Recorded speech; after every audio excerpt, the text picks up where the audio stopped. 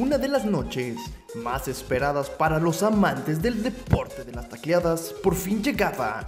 El Estadio Olímpico fue testigo nuevamente de la apertura de la temporada prejuvenil 2018-2019.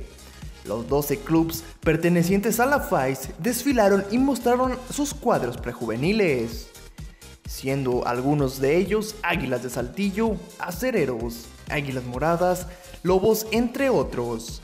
Además, también se anunció que esa temporada se encuentra en proceso de incorporación a la FAIS el nuevo club Patriota de Saltillo.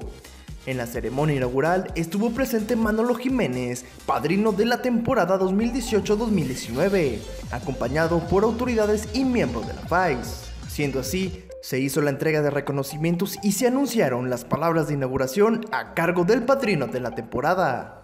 Siendo las 8.50 de la noche del día 28 de septiembre del 2018, declaro formalmente inaugurada la temporada prejuvenil 2018 de la FAIS.